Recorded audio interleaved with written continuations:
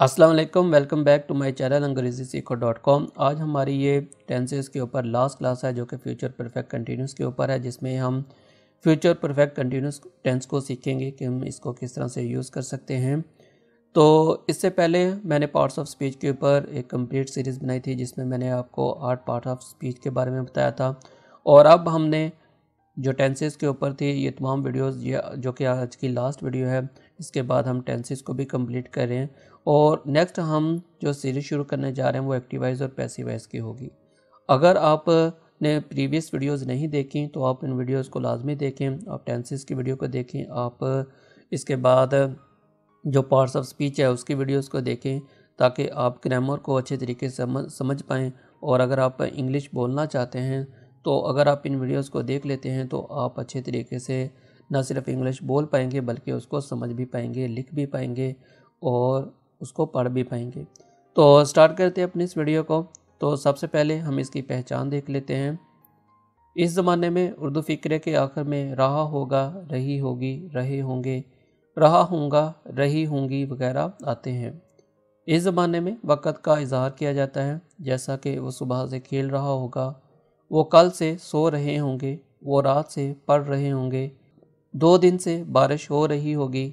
ये इसकी कुछ मिसालें हैं जिनसे आपको इसके उर्दू फ़िक्रों को पहचानने में मदद मिल सकती है।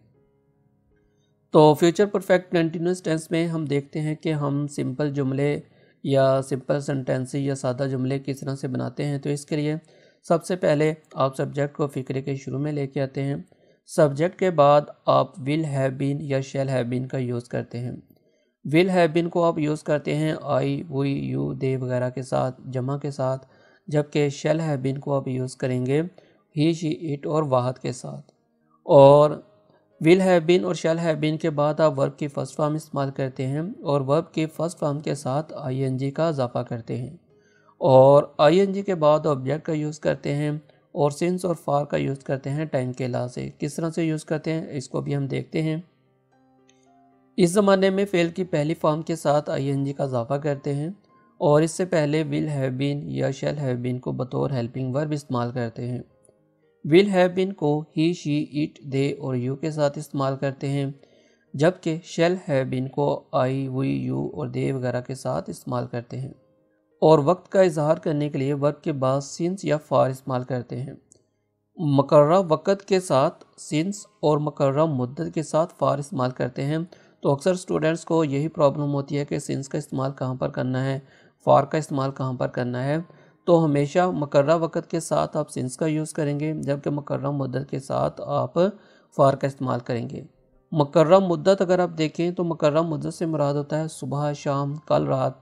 बजे, दिन, तारीख, महीना वगैरह। तो ये मकर्रा मुद्दत को शो, वक़्त को शो करता है। जबकि मकर्रा मुद्दत होता है मकर्रा मुद्दत से मुराद तीन दिन से, चार दिन से, तीन घंटे से, पाँच घंटे से। अगर कोई बंदा कोई काम कर रहा है तीन घंटे से, चार घंटे से तो इसके साथ हम फार का यूज़ करते हैं। तो इसको हम एग्ज़ाम्पल के साथ समझते हैं अब। वो सुबह से खेल रहे होंगे। They will have been playing since morning.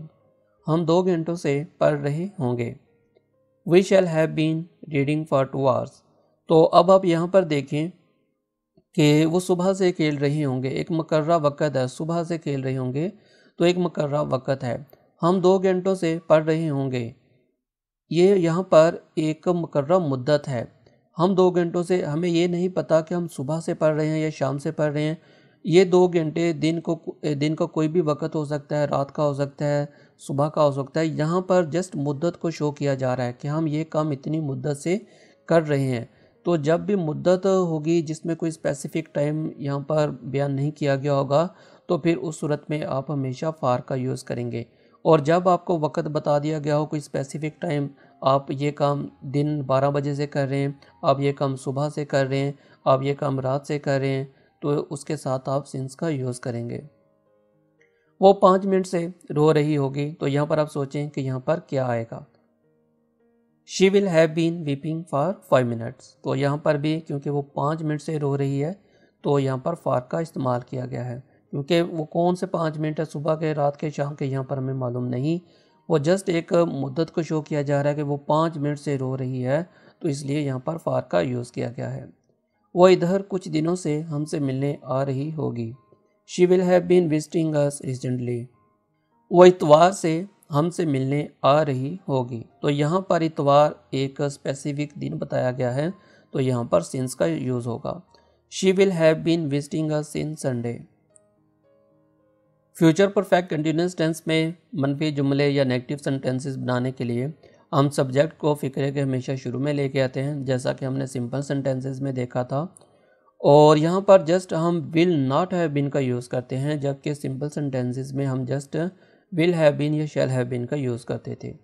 तो विल या शेल के और हैव के दरमियान आप नाट का यूज़ करते हैं। यहाँ पर बस यही फ़र्क है, सादा जुमलों में और मनफी जुमलों में। और उसके बाद वर्ब की फ़र्स्ट फॉर्म के साथ आई एन जी का इजाफा करते हैं। ऑब्जेक्ट और फिर सिंस और फार का इस्तेमाल करते हैं टाइम के लिहाज से। इस ज़माने में फेल की पहली फॉर्म के साथ आईएनजी का इजाफा करते हैं और इससे पहले विल नॉट हैव बीन या शेल नॉट हैव बीन को बतौर हेल्पिंग वर्ब इस्तेमाल करते हैं। विल नॉट हैव बीन को ही शी इट और यू के साथ इस्तेमाल करते हैं। शेल नॉट हैव बीन को आई और वी के साथ इस्तेमाल करते हैं। और वक़्त का इजहार करने के लिए वर्ब के बाद सिंस या फार इस्तेमाल करते हैं। मकर्रा वक़्त के साथ सिंस और मकर्रा मुद्दत के साथ फार इस्तेमाल करते हैं। इसकी एग्जांपल्स देख लेते हैं। वो सुबह से खेल नहीं रहे होंगे। They will not have been playing since morning हम दो घंटों से नहीं पढ़ रहे होंगे। We shall not have been reading for two hours वो पाँच मिनट से नहीं रो रही होगी। She will not have been weeping for five minutes मेरी इधर कुछ दिनों से तबीयत ठीक नहीं लग रही होगी। I shall not have been feeling well lately मेरी दो दिनों से तबीयत ठीक नहीं लग रही होगी। I shall not have been feeling well for two days future perfect continuous tense में इंटेरोगेटिव सेंटेंसेस या सवालिया जुमले बनाने के लिए हम विल या शेल को फिक्रे के शुरू में लगाते हैं और उसके बाद सब्जेक्ट सब्जेक्ट के बाद हैव और हैव के बाद बीन का यूज़ करते हैं। मतलब कि हेल्पिंग वर्ब को फ़िक्रे के शुरू में लेके आते हैं और सब्जेक्ट के बाद हैव बीन का यूज़ करते हैं और वर्ब की फ़र्स्ट फॉर्म के साथ आई एन जी का इजाफा करते हैं और सिंस और फार का वक़्त के लिहाज से इस्तेमाल करेंगे। अगर हमारे पास कोई भी क्वेश्चन वर्ड होगा, जैसा कि what when who how where why वगैरह तो इसको हम हेल्पिंग वर्ब से पहले यूज़ करेंगे। अगर हमारे पास ये क्वेश्चन वर्ड होगा हमारे सेंटेंस में, अगर क्वेश्चन वर्ड नहीं होगा तो फिर हम हेल्पिंग वर्ब को ही, जो कि विल और शेल है, उसको ही फ़िक्र के शुरू में लेके आएँगे। इस ज़माने में सवालिया फ़िक्रा बनाने के लिए विल और शेल को फ़िक्रे के शुरू में सब्जेक्ट से पहले लाते हैं और सब्जेक्ट के बाद है बीन को लगाते हैं और फ़िक्रे के आखिर में सवालिया निशान लगाते हैं। इसके एग्जांपल्स देख लेते हैं। क्या वो सुबह से खेल रहे होंगे? Will they have been playing since morning. क्या वो पाँच मिनट से रो रही होगी? Will she have been weeping for five minutes. क्या हम दो घंटों से पढ़ रहे होंगे? Shall we have been reading for two hours future perfect continuous tense में इंटेरोगेटिव नेगेटिव सेंटेंसेस बनाने के लिए हम विल या शेल या हेल्पिंग वर्ब को फ़िक्र के शुरू में लगाते हैं और सब्जेक्ट के बाद नॉट हैव बीन का यूज़ करते हैं। और वर्ब की फ़र्स्ट फॉर्म के साथ आई का इजाफा करते हैं, जबकि सिंस और फार का हम टाइम के लिहाज से इस्तेमाल करेंगे।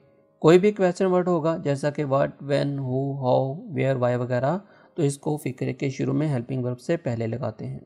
इस ज़माने में सवालिया फ़िक्रा बनाने के लिए व्हील और शैल को फ़िक्र के शुरू में सब्जेक्ट से पहले लाते हैं और सब्जेक्ट के बाद नाट हैव बीन को लगाते हैं और फ़िक्रे के आखिर में सवालिया निशान लगाते हैं।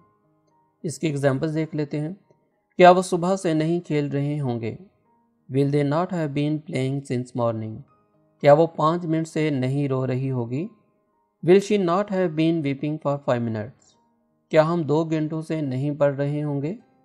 Shall we not have been reading for two hours तो ये थी हमारी आज की फ्यूचर परफेक्ट कंटिन्यूस की और टेंसेज की लास्ट वीडियो आई होप कि आप लोगों को समझ लग गई होगी फ्यूचर परफेक्ट कंटिन्यूस टेंस की और इसके इस्तेमाल की।